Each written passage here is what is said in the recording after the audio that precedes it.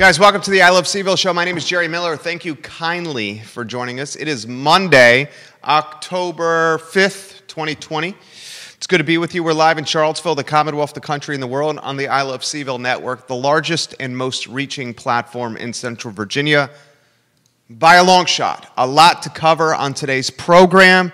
Whether wherever you digest this news, whether Spotify, iTunes, Apple Podcasts, YouTube, LinkedIn, Twitter, Snapchat, TikTok, Facebook, Instagram, our e newsletter that goes out to 140,000 inboxes every day, or on ilovecville.com. The whole premise of the program is to bring information to you in approachable, honest fashion. We put that information on, on the real estate and on the platforms you spend hours every day upon, and that's social media.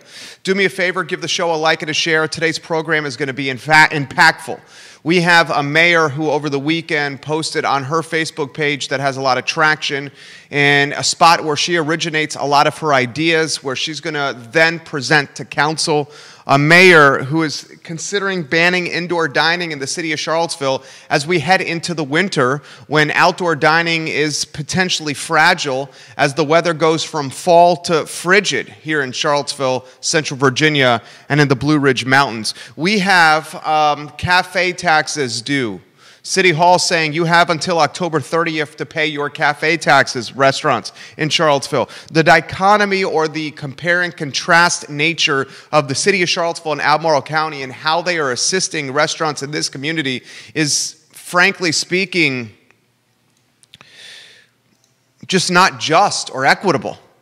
Albemarle County is issuing grants for restaurants, wineries, and breweries to, to, to get money from the county so they can put up tents and within those tents have heating and air conditioning, depending on the weather outside. We know in the fall and certainly going into the winter that the weather can fluctuate from chilly to hot at the drop of a notice, you know, a drop of a hat. So we're going to understand what Charlottesville is doing and how it's going to impact the budget, how it's going to impact the uh, the the 2021 you know horizon and landscape. I, I, I, again question the entrepreneurial and innovative mindset by some of our members on council. We're going to talk about Regal Cinema temporarily closing movie theaters in the United Kingdom and in the United States of America. We have a Regal in Stonefield. In Stonefield, boys and girls, already a ghost town. What's going to happen when the movie theater is temporarily closed? How will the closing of Regal, the second largest movie chain in the country, how will that impact Violet Crown? How will that impact boys and girls? Alamo Drafthouse. Judah, can you take care of the leaf blower outside for me? That would mean the world to me. Thank you. Um, we're going to talk about that. We're going to talk about H&M closing a number of stores. We're going to talk about the J.C. Penney, the J.C. Penney in Richmond being sold to the mall and whether that's going to trickle over to Charlottesville. The University of Virginia football team showing some, some positivity and some hope, but unfortunately succumbing to a more talented Clemson football team in Death Valley. UVA now getting its first taste of COVID on the Wahoo football team. How about Virginia Tech getting a victory and the Hokies getting a victory minus two, two football coaches, minus nearly two dozen football players on the sidelines with COVID against Duke and Durham?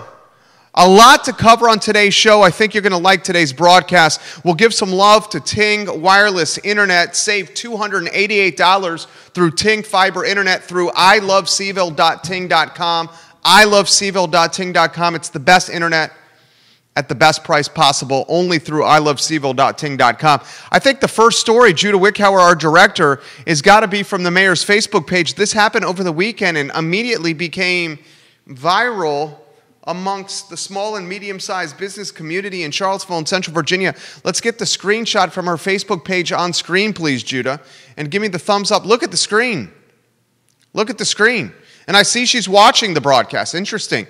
Um, so I'm going to take a very straightforward um, approach to this Facebook post, Mayor Walker. On over the weekend, you reference an article and in this article, I'm just going to read verbatim, ma'am, from your Facebook page. In this article, you say, we need to ban indoor dining immediately. We need some other restrictions as well for a few weeks. If we don't, Cases could skyrocket and a full shutdown may become necessary. End quote. You reference this two sentences from the article you post on your Facebook page. You know, you choose not to talk to the media in a number of circumstances, whether print, radio, or television, and you originate your ideas and your content on your Facebook page or through Facebook Live. That's a fact and reality. That's not me speaking out of turn. We also know that there's a city council meeting today, tonight, we also know, let's just be honest and realistic, we're going into the winter where consumer confidence and the average Joe or the average Sarah may not want to sit outside because it's getting chillier. For us to deprioritize, de emphasize, for us to throw shade on indoor dining is just, frankly speaking, not being in touch with reality. If, if you're looking for an entire industry that's the backbone or a foundation of the Charlottesville, Albemarle County, and Central Virginia community, look no further than restaurants and food and beverage. And, and, and to say that banning indoor dining is the right approach as we head into the winter months is, frankly speaking, not seeing the forest through the trees. Can I be any more clear than that? I don't think so. I've, on this program, through this platform, and through this audience that reaches over a quarter million people a year, backed by analytics, I've tried to come, well, come up with creative ways to drive incremental revenue to the city of Charlottesville and to Albemarle County. One of those creative ways is to emphasize, utilize, leverage, showcase the outside options for restaurants, for, um, for wineries, and for breweries from putting tables outside standpoint. Let's utilize the parking lots. Let's utilize the pavilion. Let's utilize the side streets. Let's allow our merchants to set up tables and point of interactions and points of sale in the pavilion, on side streets, on the brick covered downtown mall. That hasn't become a reality.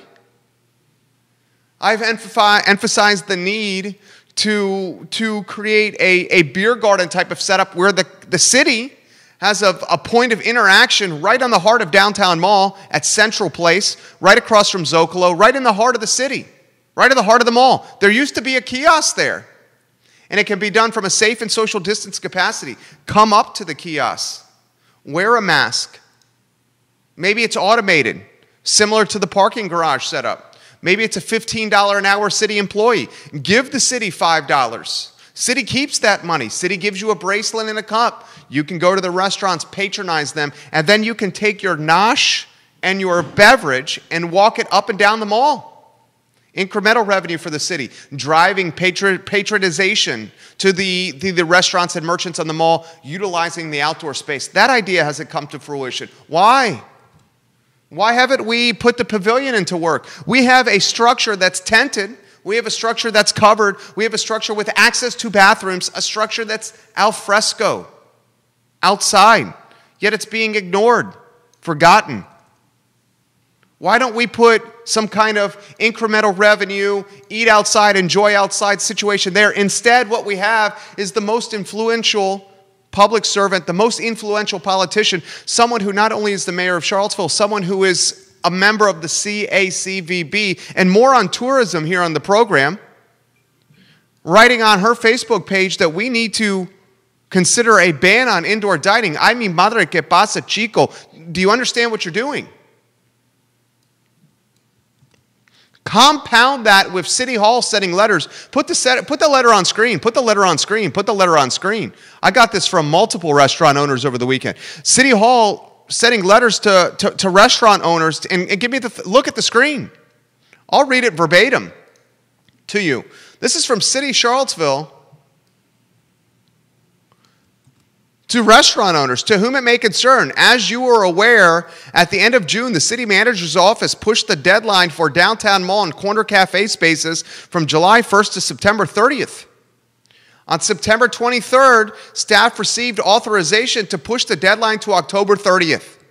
This letter is to inform you that all 2020 cafe fees, as well as any outstanding payments, so taxes that have not been paid, debt that has not been paid, are due in full no later than close of business Friday, October 30th. Please be aware that any restaurant that does not meet payment deadline is subject to loss of cafe space. They will take the space away from you and may need to remove equipment and furnishings. Let me understand something, boys and girls. Now I see two city councilors watching the program. Now I see three Albemarle County Board of Supervisors watching the program. I'll hold you accountable. Let me understand something. So, this is what we have we have COVID 19 that's demoralizing, depressing, destroying, downright, downright destroying hospitality, food and beverage, tourism, and hotels, restaurants.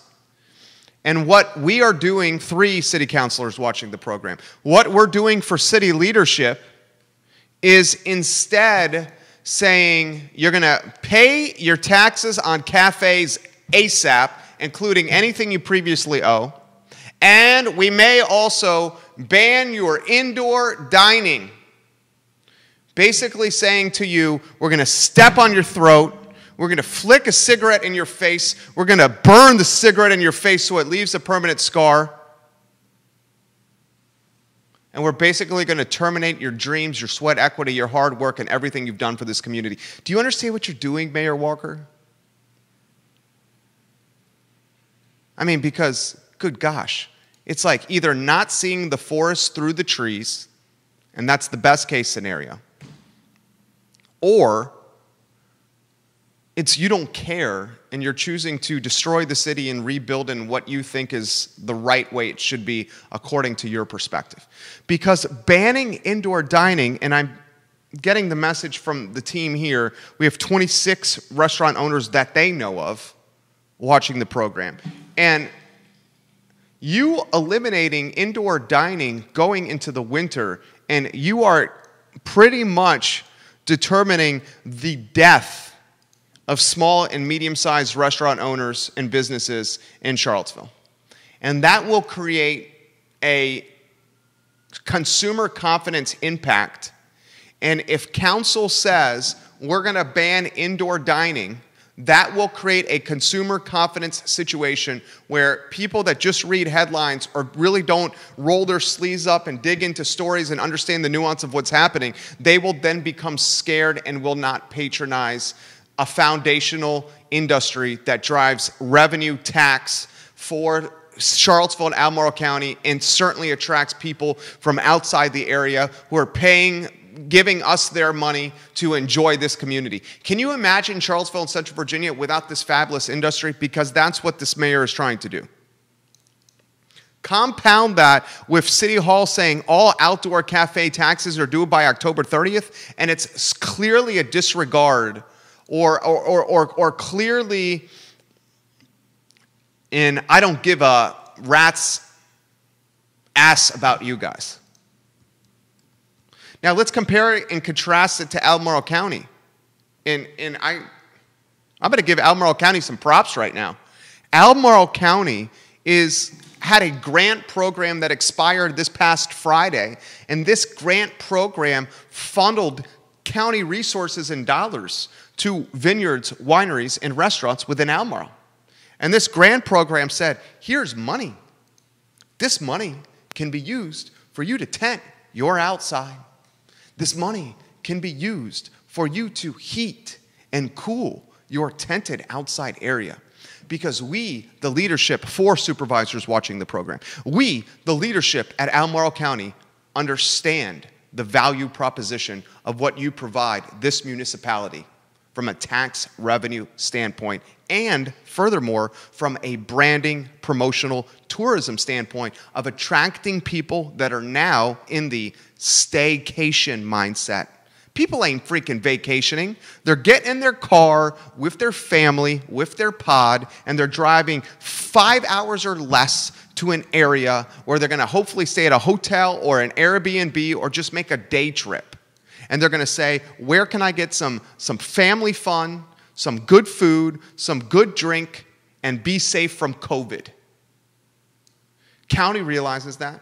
tent the spaces, cool the spaces, heat the places. Just keep tax revenue coming to our municipality because we're experiencing a budget deficit just like municipalities are across America. So we're going to give a little to get more on the back end. And from my vantage point, that's called good business and being a good community ally. Instead, we have someone that was a part time employee at the parks, is a part time employee at the Parks and Recs department, never run a business, never been in a leadership role from a business standpoint, never done a balance sheet, probably never seen a P&L. Saying, I'm going to flip the switch perhaps on indoor dining as restaurants go into the effing winter when they're just trying to survive. I mean, I, I'm flabbergasted. I'm flummoxed. I'm downright confused, frustrated, angry, scratching my head, concerned. Are you? Should be. You take away indoor dining, just being straightforward, you exponentially increase the death rate of F&B in our region. And you don't think it's going to have a trickle over effect to the other counties, you're nuts. Central Virginia goes as the city of Charlottesville goes. Central Virginia, Fluvanna, Orange, Louisa, Albemarle, Greene, Nelson goes as the city of Charlottesville goes. It will create a domino impact that will ripple throughout 2021. Mark that down, mark that down, mark that down, mark that down. Interestingly, this comment on Facebook, put it back on screen, Judah, put it back on screen. I see you're watching, Mayor Walker.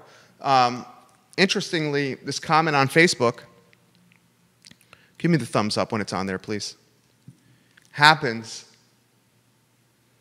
less than 48 hours before the council meeting, which is this evening.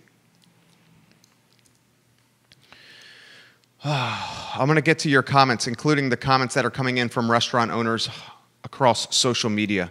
Um, restaurant owners, if you have perspective you want to offer, put them on the feed, and I will share it to what appears to be two counselors and three supervisors watching the program, one supervisor from Nelson County watching the show. Daniel Kaufman is the owner of Public. We love Public on West Main. I've said many times on this program, Public may have the best happy hour, certainly one of the best happy hours in Charlottesville. Daniel Kaufman just put on the feed if you ban indoor dining, we are done. Period.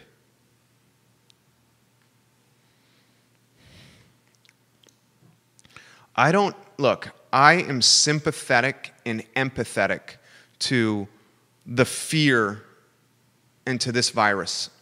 The President of the United States just got it. It's a very real virus. I am sympathetic and empathetic. But I am also, I also understand that the folks that are running these restaurants, this is like their life. This is, they've spent years, if not generations.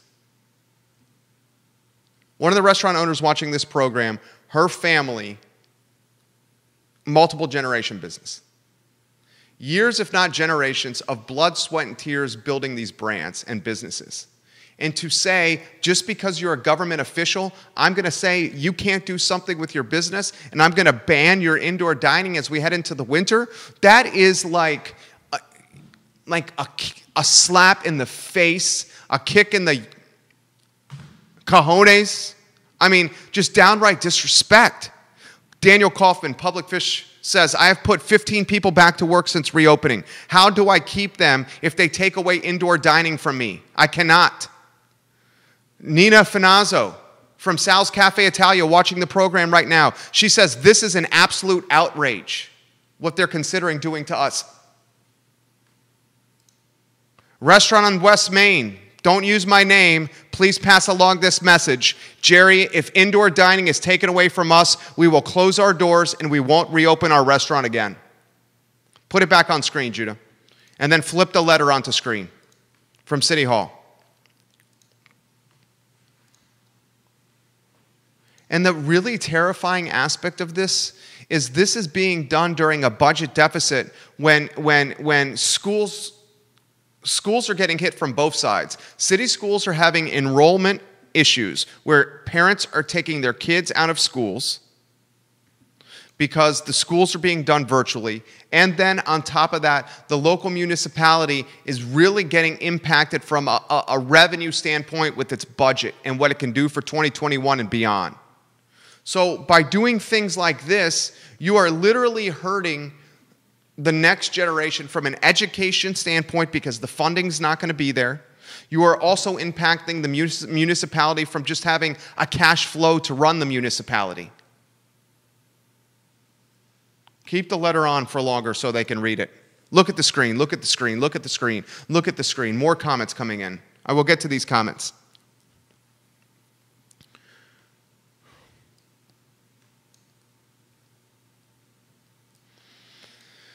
Oh.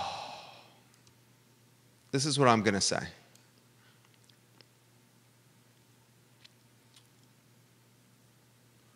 We, as a municipality,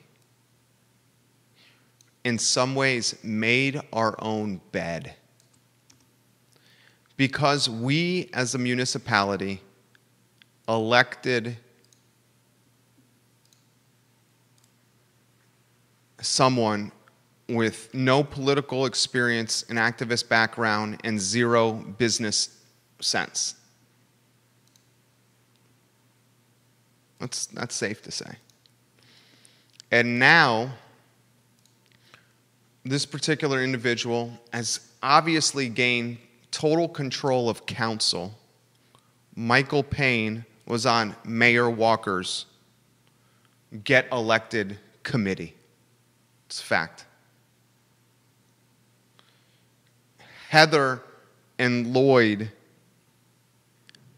need to stand up, but have not truly to the mayor. And Sena is kind of this very impactful vote that's wavering in the wind and unsure what to do. The mayor is also a board member, put it on screen, the screenshot from the website, tell me when it's on screen, is also a board member of the CACVB, the organization that is the influencer. Look at the screen, look at the screen, look at the screen.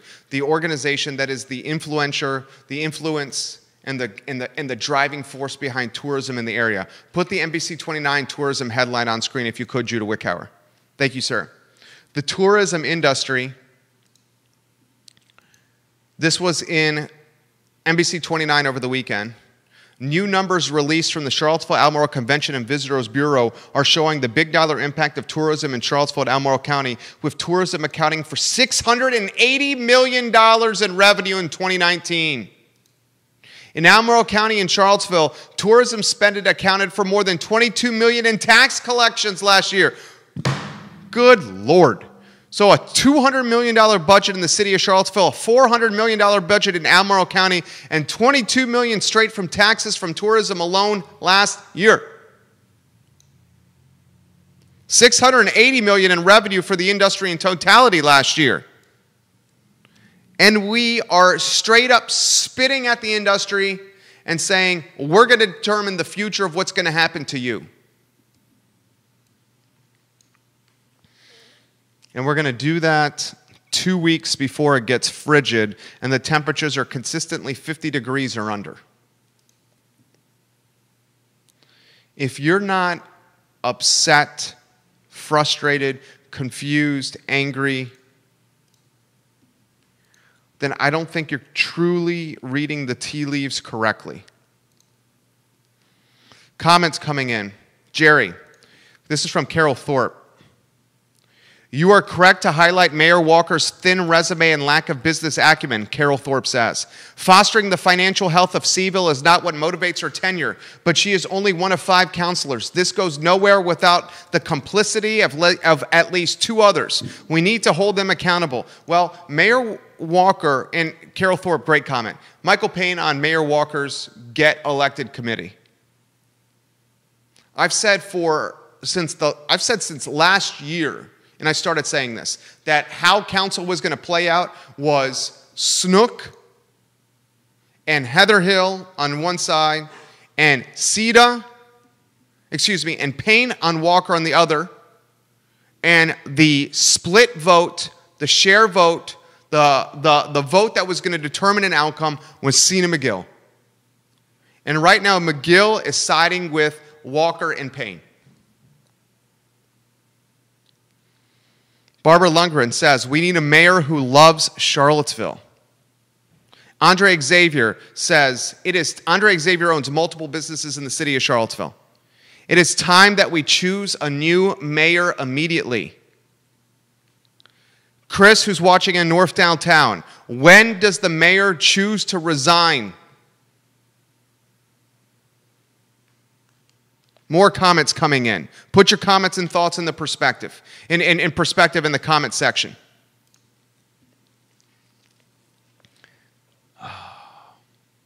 I feel for these folks. Why would you open? I got this from Gary Grant. Gary Grant, who watches this program routinely, Gary Grant said, um, Toby from Toby's Pawn Shop Toby from Toby's Pawn Shop was on Joe Thomas in the morning. He was an old boss of mine when I was doing radio broadcasting. Joe Thomas had Toby from Toby's Pawn Shop on his morning show. Joe Thomas said, or Joe or Toby said to Joe Thomas, I'm going to close my Charlottesville City store on West Main, my pawn shop, and I'm going to open up a second pawn shop in Albemarle County. I already have one, but I'm going to open up a second one. I'm going to close this business and just go across this invisible line to Albemarle and do commerce there. If you have somebody who has zero business acumen, zero business experience, is a, a, a part time worker within the Parks and Recs department telling you what you can or cannot do for your business, would you not also choose or think about closing your doors and then moving it a mile, a mile and a half two miles, two and a half miles across an invisible line, and then open your doors on the other side of the invisible line? I would consider doing it. The reason I don't have to do it is because this business is run in a virtual capacity worldwide, countrywide, Central Virginia wide, Commonwealth wide. More comments coming in. Share your comments. Put your perspective in, your frustration, whatever it may be. If you agree, if you think I'm wrong, if you think I'm wrong, tell me. If you think I'm wrong and you think indoor dining should be closed, you can put it in the perspective. I will straight up read your perspective on air, and I will, I will, I will, um, I will go about your perspective, um, even though I disagree with it, but I will go about it in a respectful fashion because I, I, I can have a dialogue with someone who, who does not agree with me and do it respectfully on the show. So if you think I'm completely wrong, put it in the feed and I will put it up, I will put it on air if you think I'm completely wrong. A couple more headlines I want to get to, then I'm going to get to your comments. I see a lot of comments here. We'll get to their comments, Jude, in a matter of moments. Carol, I'll get to yours. Grace, I will get to yours. Barracks Road, merchants, I will get to you. Corner Merchants Association, I will get to you. I want to get this story out before we flip the headlines there you see on screen. Regal, get it on screen. Regal said over the weekend um, that it's going to close its theaters temporarily. This is no bueno, Chico.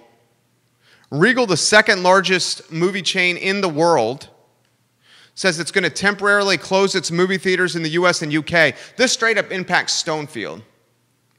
Stonefield, which is already ghost town, this straight up impacts Stonefield. So, my question to you is A, what's going to happen to Stonefield now that it's lost arguably um, I'm sending a text to the city councilor that's watching the show right now. I'm texting literally the city councilor, one of the city councilors that's watching the show. All right, I just texted them back because they're responding to what I'm saying. Um, and I'm not going to air, I, I, appreciate your perspective, counselor. Um, if Stonefield loses its movie theater, its number one draw to an otherwise ghost town esque shopping center.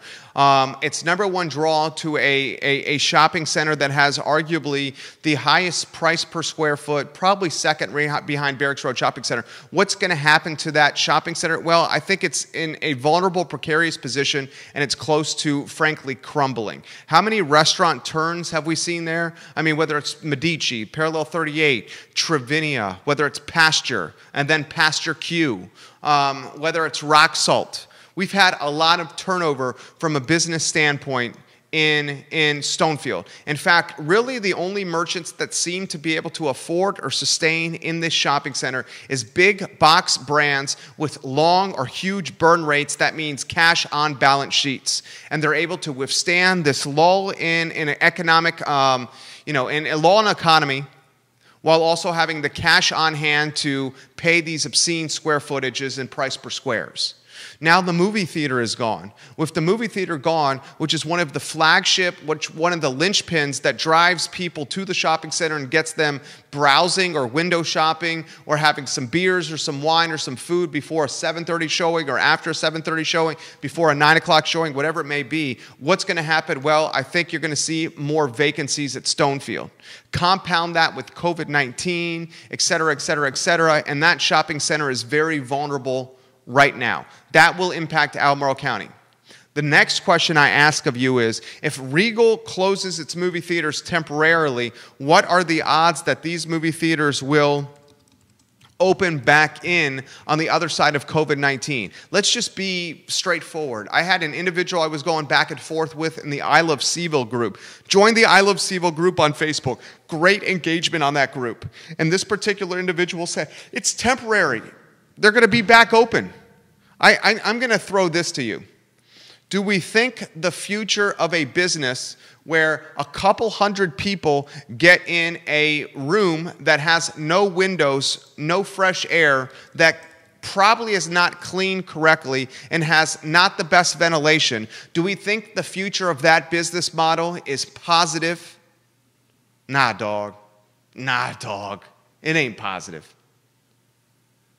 Do we think the future of going with 300 strangers to, play, to pay for an overpriced ticket to pay for an overpriced box of popcorn, an overpriced soda, to stand in line, to rub shoulders with people you've never met with, strangers, to sit in seats, to stand on floors, to put our hand on armrests that may or may not have been clean, to sit in a room for three hours that's poorly ventilated, that has no windows, to watch something that's overpriced that we can otherwise do on our couch with our pod in a safe setting at home? Do we think the future of the business model model of movie theaters is a bright one? Nah, dog. Nah, dog. It ain't, it ain't bright. So, how does a Regal closing impact the movie theater, Alamo, Drafthouse, or how does it impact Violet Crown on the downtown mall? Folks, last week we explained that Alamo Drafthouse is in the pooper. Alamo Drafthouse is now saying that people can individually rent their movie theaters for $300. 150 bucks for the theater and 150 bucks from a food and beverage tab and you can rent a movie theater.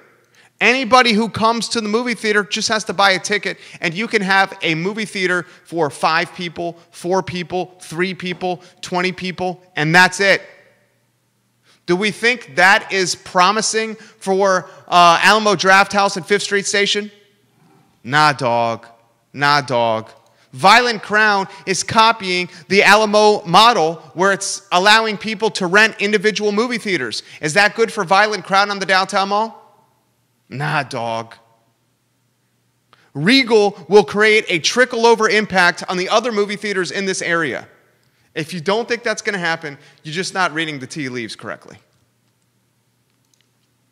It's no secret that you look on Wall Street right now and AMC stock is down significantly. I expect by the close of 2020 that Violet Crown and Alamo Drafthouse will also temporarily close their theaters. And that will create an apocalypse potentially in the winter. We have a city that is marginalizing restaurants and not helping them with their outdoor dining by providing grant money for tents in a city that's not helping restaurants, food and beverage, hospitality, wineries, breweries, that is not providing tents or heating or cooling for outside patios. We have a city that is demanding that restaurants pay their cafe taxes, the ones that are in the rears or the ones to get them current by October 30th. Put the letter back on screen. And then on top of that, we have the impact of movie theaters looking like they're going to close across the city and the county by close of business 2020. And we already know the municipalities are impacted from a fiscal year 2021 budget and beyond. We don't even know what 2022 is going to look like.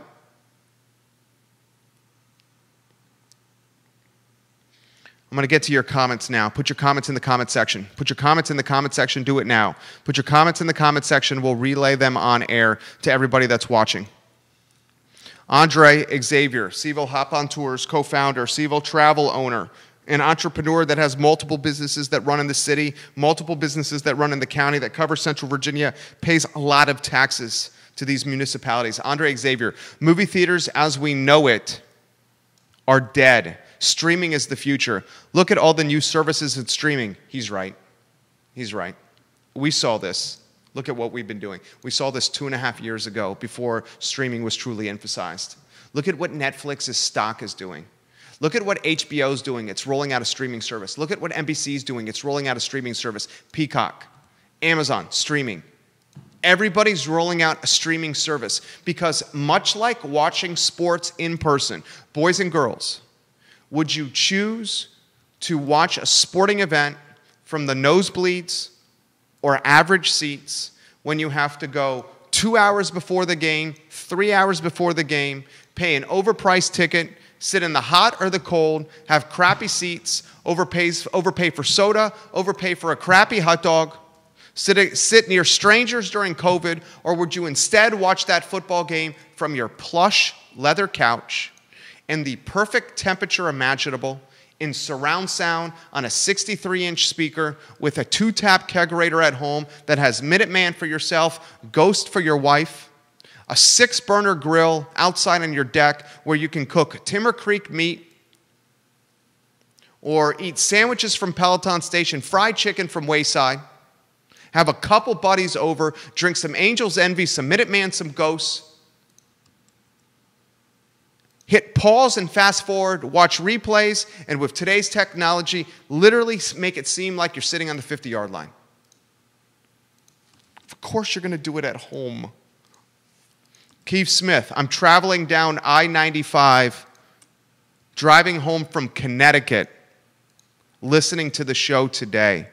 I love the I Love CVille show and what you guys are doing. Christopher Eagle, Real Estate 3.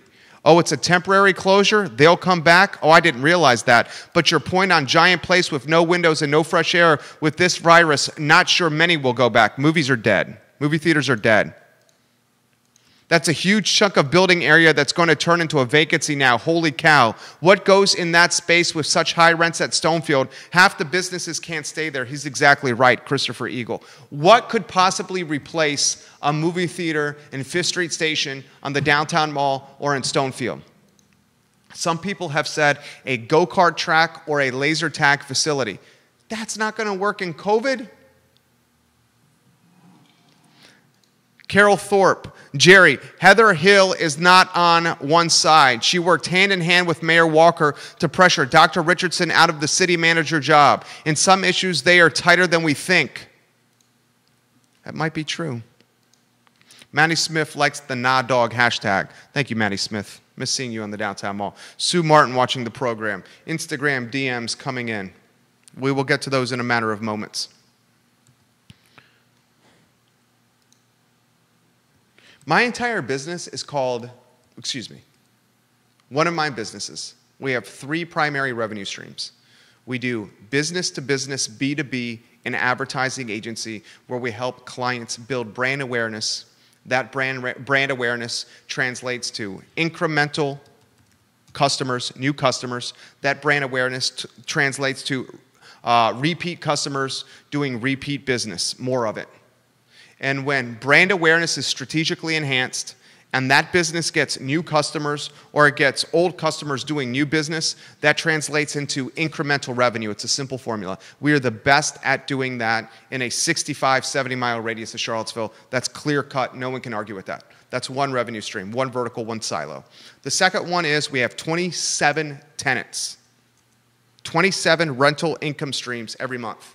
Many in the Macklin building, some strategically placed in Charlottesville and Albemarle County as well. And then the third silo or vertical or revenue stream is a network that is now reaching more people than any other brand or platform in Central Virginia. Can't argue with the numbers or the metrics. When you combine all three, you get what's called vertical integration or complementary services that make each one better. Vertical integration. Do more with less. The primary face or identity of the three verticals is this I Love CVille moniker or brand. So we're most known for this interaction, I Love CVille, and this network. It's three on the revenue streams, mind you, but we're most known for this. The face of what we do is about the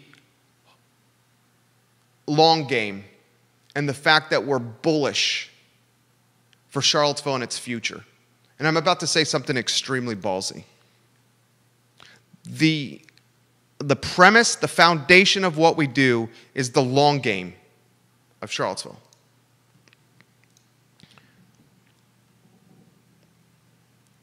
I'm seeing city managers sprint and hit the road, Jack. I'm seeing city executives flee and sprint. City, city police chiefs flee and sprint. I'm seeing on their way out the door city managers saying, I can't get along with certain people. I'm seeing what I'm watching the council meeting bickering, dysfunction, and just piss poor optics. I'm seeing someone on the dais tell the world's newspaper that Charlottesville is an ugly to the soul place. I'm seeing a budget deficit. I'm seeing multiple industries frustrated and angry with leadership. And I continue to emphasize where there's smoke, there's fire. In, in Roanoke, Virginia, we had a city councilor unexpectedly resign in Roanoke, Virginia. We now have people in the Daily Progress that pushed and influenced and helped the mayor get elected. Folks in the Daily Progress, activists in our community saying the mayor is not who she was when we helped her get elected. Activists in this community straight up saying it's time that she resigns.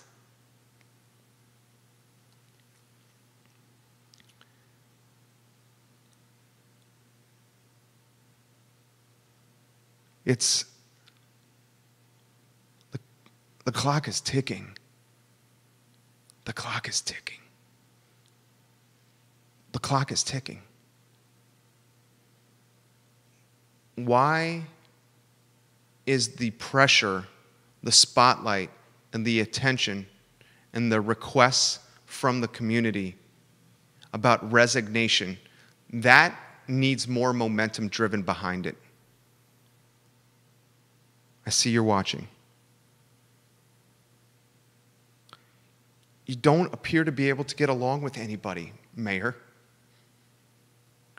You don't appear to have any small or medium sized business experience or acumen, acumen, Mayor. You straight up called Bellamy Brown, who is running for city council, who's a retired Marine, who's a small and medium sized business consultant, who grew up in this area,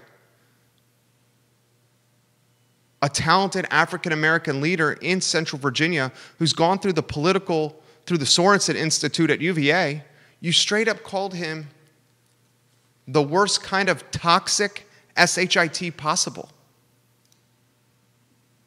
You said that.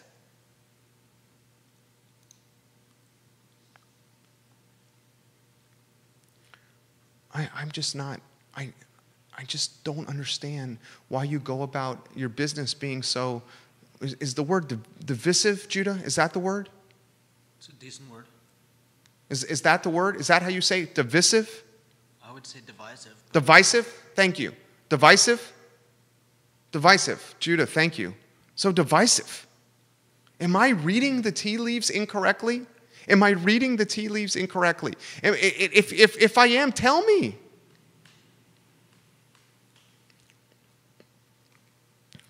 Oh.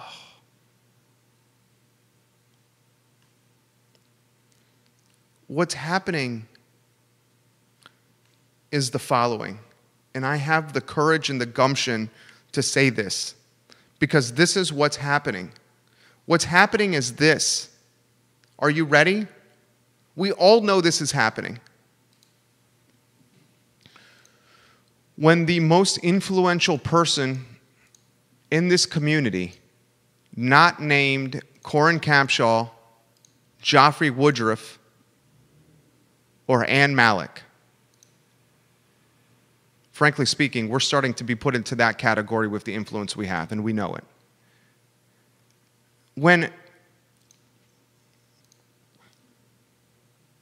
the mayor of Charlottesville is becoming the primary reason that the community is divided, should we not be concerned? Isn't the role of the most influential person in the community that's not only mayor, but one of the key figures for the tourism industry in Central Virginia, a board member with the CACVB. Isn't this person's role to unite, to galvanize, to create solidarity, to be the North Star, to be the one that's holding the bell, to be the Paul Revere, to be the one saying, Follow me, I will lead the charge and we will take you. I will help lead you to the promised land of greener pastures, of economic prosperity, of, of a brighter future for the community. Is that not the role of the mayor? I have, I, I, I respect and love and am empathetic and I, and I, and I champion activism. We must have activism. It's our right as Americans to be activists and to say and speak what's on our mind. However, that right stops when you become the mayor. Because then your goal is to galvanize, unify, create solidarity, and not divide. And that's what's happening now. Comments, put them in the feed. Comments, put them in the feed. Comments, put them in the feed. We will get to it. Julian Freeman, thank you. Love you, Julian Freeman. Love that comment. Ah. A couple more headlines, and then I'm going to get to your comments today on the I Love CVille show. Um, I had a phenomenal experience over the weekend. Get the photos on screen. Families, dads, moms, boyfriends, girlfriends, husbands, and wives, whether you have kids or don't have kids, whether you're married or not, whether you're dating someone or not, whether you're just looking for something to do with your friends, I very much suggest the Lloyd Family Farm. It's about 45 minutes away from Charlottesville. It's in the uh, Goochland area, Louisa area. It's phenomenal. You pay $10, you get a wristband, you can go to a pumpkin patch, you can pet live animals, you can ride tractors, you got a hay ride, there's a corn maze. Just it's just an incredible, fun, safe, COVID friendly experience. Lloyd Family Farm. Write it down Lloyd Family Farm. We did it over the weekend. Dudes, it was enjoyable. One more headline. You're flipping through those photos, Judah? Thank you. I'm going to get to your comments on everything we've talked about that in five minutes. Put them on the feed, put them on the feed, put them on the feed. We'll, get, we'll, we'll dot the I's and cross the T's on the show about what's happening with restaurants, with cafes, with, with banning indoor dining, Albemarle County versus the city of Charlottesville with helping small businesses, the impact of Regal closing in Stonefield, whether that'll create a trickle over impact to Violet um, and the movie, and, and, and Alamo. Um, another J.C. Penney has, has gone under contract. This one, um, the second in Richmond to go under contract. J.C. Penney has put another one of its five Richmond area stores under contract in the Richmond area. This time, the J.C. Penney store at Virginia Center Commons Mall and Northern Henrico is going to be sold to the mall owners. Listen to this.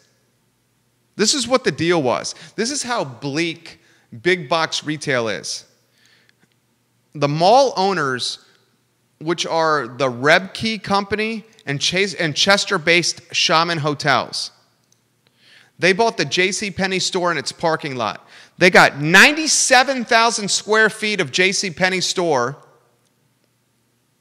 including the outside parking lot, a total of 7.67 acres. 97,000 square feet J.C. Penney store, the outside parking lot, and 7.67 acres. You know what the price tag was for this? Start throwing some numbers out. What do you think the price tag was for a 97,000 square foot J.C. Penney store and 7.67 acres with a dope parking lot? What do you think the price is?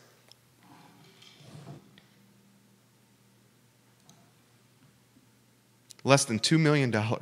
Good Lord. It's assessed at 1.58, the deal closing right around assessment. Think about that. That's a hell of a lot of spot. The people that are going to buy, there's going to there's going to be private equity groups, people that are cash rich, people that are saying, sitting on piles of paper, and these people are, are going to go around and they're going to buy malls, distressed properties, and they're going to get them for pennies on the dollar. And then they're going to they're going to get a steal of the century. And 10 or 15 years down the road, we're going to look back and say, these people bought these, some of the best real estate, closest access to the interstate, closest access to the bypass, a heavily traveled uh, area next to 29 in Albemarle County or in Richmond, wherever it may be, and they bought them for pennies on the dollar. And now look what they have. That's called vision, and that's going to happen. H&M is closing 250 stores globally. That shows you another death of retail. You get that on screen. 250 stores closing H&M. 5% of its store portfolio closing due to COVID-19. I'm going to get to your comments on restaurants and the mayor here briefly. Clemson beat UVA 41 to 23 in Death Valley. I'm going to give you a couple takes from that UVA game. Look, UVA, I know they lost 41 to 23. They showed heart, the Wahoos. We had a couple of bad plays. The Armstrong interception, where he was thrown off his back foot on the run outside the pocket, that was a bad throw. He also had an interception in the end zone where the Clemson defensive back made a hell of a one handed catch on UVA's six foot seven wide receiver, Lavel Davis. And both those throws, Armstrong, bad passes. When you have a six foot seven wide receiver in Lavel Davis going against a defensive back that's much shorter, the only thing you do is not underthrow the ball. You overthrow the ball, so you allow your six foot seven receiver to go get it. When you underthrow the ball, in particular in the end zone, you then take away the wide receiver's height advantage and you actually put the advantage on the defensive back. So those were two bad plays by Armstrong. That being said, that kid's got moxie, dude. I mean, for his second start, for him to go into Death Valley, three touchdowns, two picks. He also had 89 yards on the ground. He is a tank. He has moxie. This Davis kid is a beast at 6'7. Davis had 58 yards receiving. And when Davis at 6'7 can get the ball downfield and make plays, that means Kemp in the slot and across the middle has more room to work with, and it's no surprise Kemp had 10 catches for 96 yards. I'm going to tell you, I think the future is very bright for the UVA football team. You cannot go into Death Valley and make the mistakes they did and expect to upset the number one team in the country. The line was 28 and a half points, the Vegas line. UVA lost by 18. There is some hope and some promise with this Wahoo football team. They got some talent, boys and girls. And Virginia Tech, they lost, they beat Duke, excuse me. Virginia Tech beat Duke 38 31 in Durham. The Hokies missing 21 players and two coaches due to COVID 19. UVA out, UVA out seven players and one coach. I was impressed by both Virginia and Virginia Tech over the weekend. Get your comments in the comment section. Judah, let's give some love to Scott Wagner of Scott Wagner Chiropractic and Sports Medicine. Dr. Wagner, changing people's lives, chiropractic care, sports medicine, physical therapy. Who's got your back? Dr. Wagner has your back. Comments coming in, and they're coming in fast and furious. Laura Monk is watching. Jerry, I live in the Starr Hill neighborhood. I watch your show religiously. I really like your I Love CVille Daily Digest because I can catch up on everything quickly when I can't watch your show from start to finish. At first, I disagreed with you, Jerry, when it came to Mayor Walker. Now you continue to point out all the issues that you find troubling, and I'm starting to see what you're talking about. One more thing it's up to us as citizens whether or not we will dine indoors at restaurants. It's not up to government officials to tell us what to do. That's just how I feel. Thank you for sharing your thoughts. Stephanie Rhodes, love Stephanie Rhodes on this program. Stephanie Rhodes, an influencer on this show. Stephanie, I really mean that. She said, So proud of my Hoos. They held their own. I agree. I was proud of them too. I was so proud of them.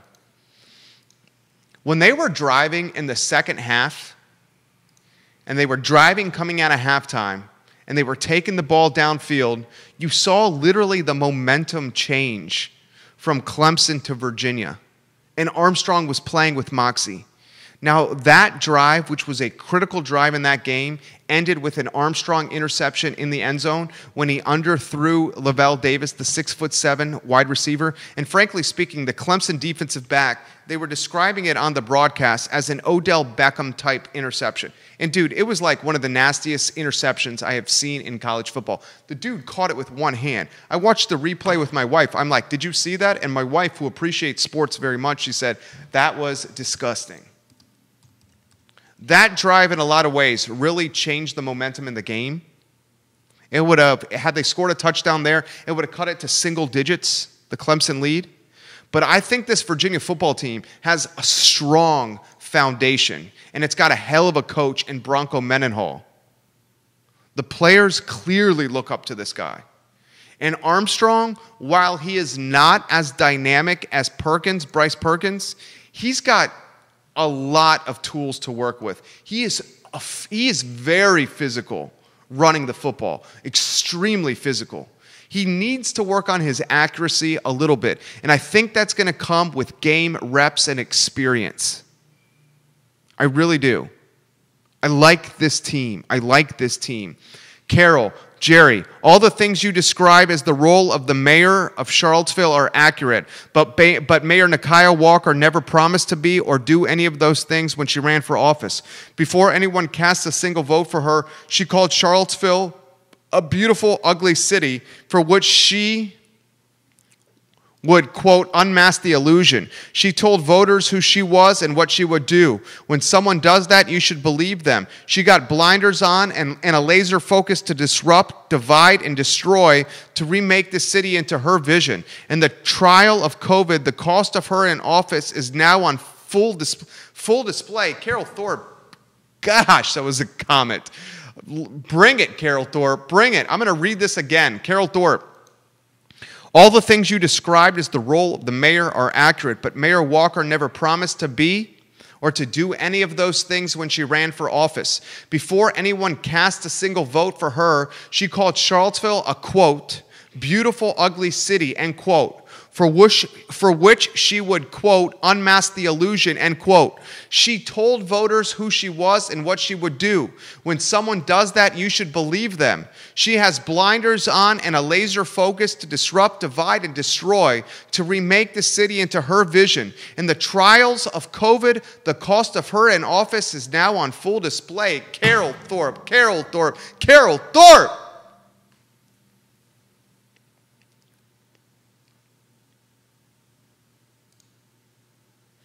Elena Mangione, I love you, Elena. And I love you because you have gumption and you have courage and you speak your mind and you are freaking real.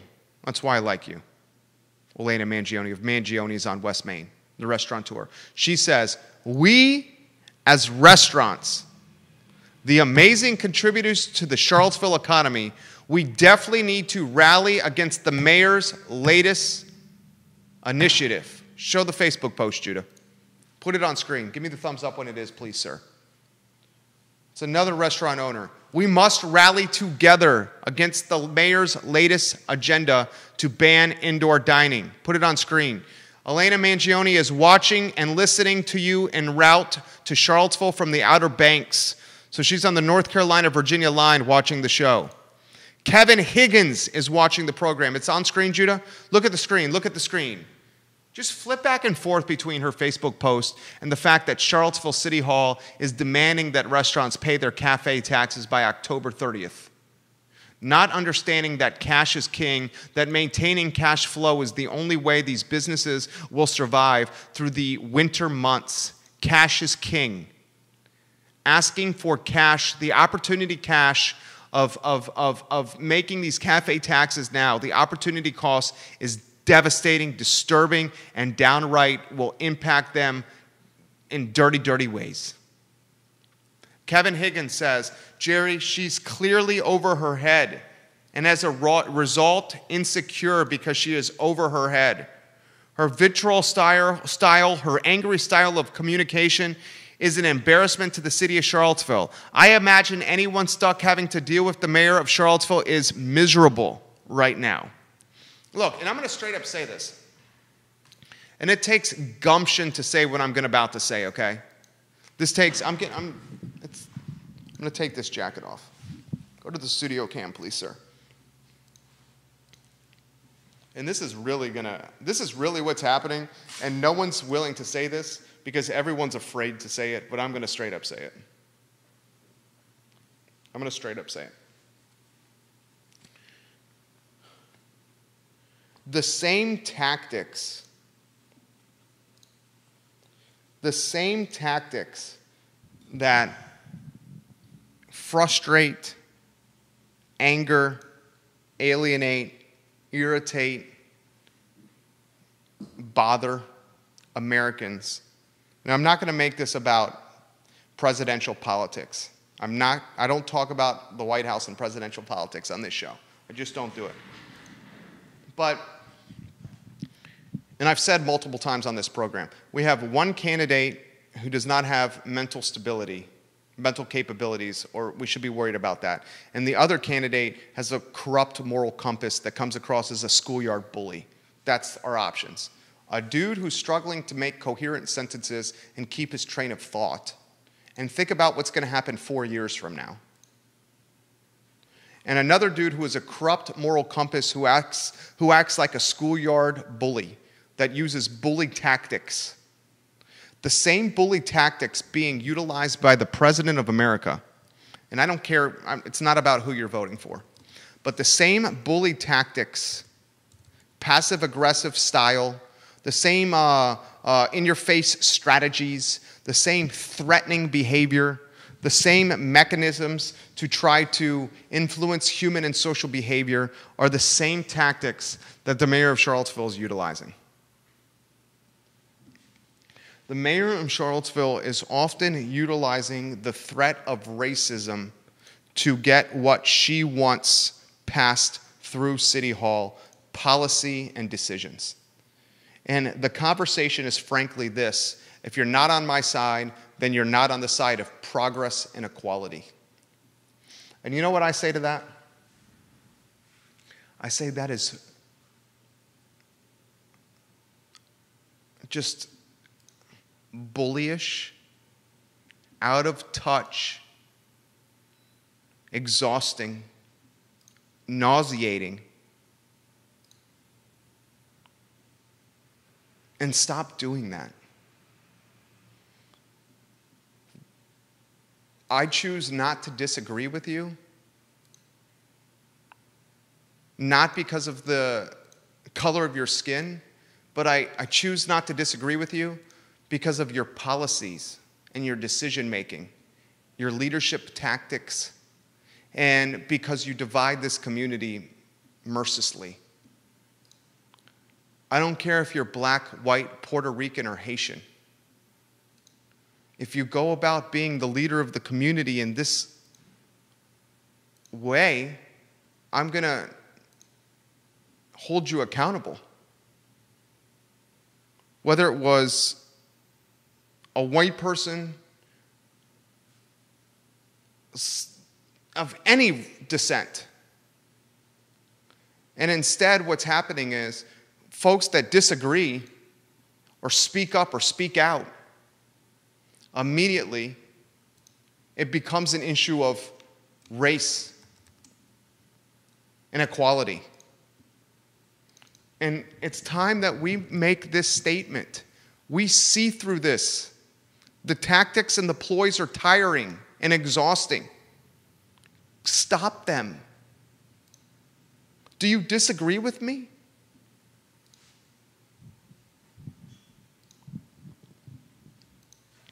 More, more comments coming in.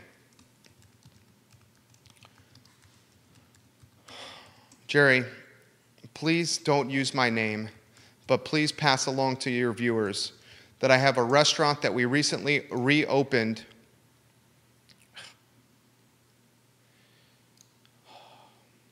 On the UVA corner. When we reopened our restaurant, we were willing, we were able to bring back nine people from the city of Charlottesville that live in the city of Charlottesville. If the mayor closes our indoor dining, we will shut down and we will ask those nine people to find other work because we won't have the business to pay them. I'm not sure I'll open my doors back again if I have to go through winter without indoor dining and without receiving any money from Charlottesville to make my outside space viable. I don't have the money for tents. I certainly don't have the money for outside heating. I'm behind on my rent, and I'm just trying to make it to spring when hopefully we're on the other side of this COVID mess. I haven't slept. We've taken a second mortgage on our home, and my wife is now working after staying home with our two kids. Please pass this along to your viewers. I mean, and that's. I mean, I, I can't get, I can't get, I can't read the comments fast enough. I can't read the comments fast enough.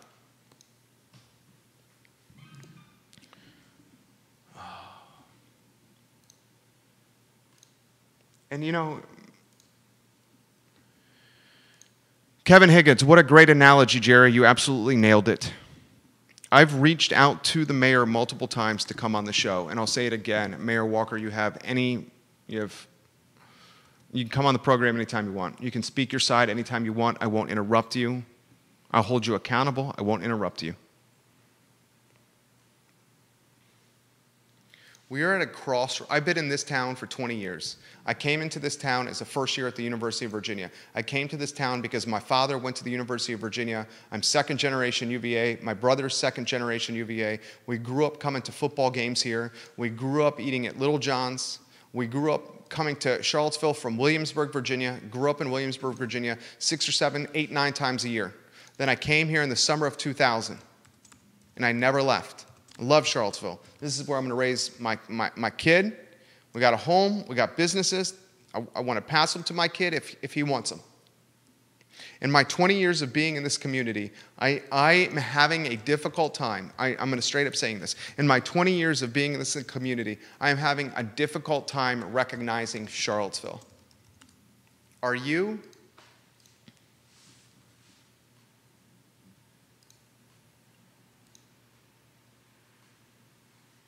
I'm having a difficult time recognizing Charlottesville. It's time that we start holding leadership even more accountable. And when the mayor says on her Facebook page that she's pretty much going to destroy and crush and kill one of the most important industries in the community, when frankly speaking, there's not enough tax revenue to maintain a lot of things, you should be very concerned.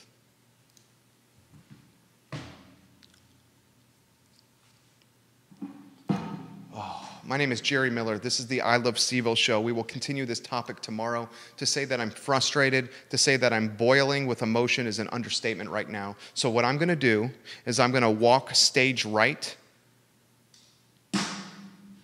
get some fresh air, and compose myself. Thank you for joining us.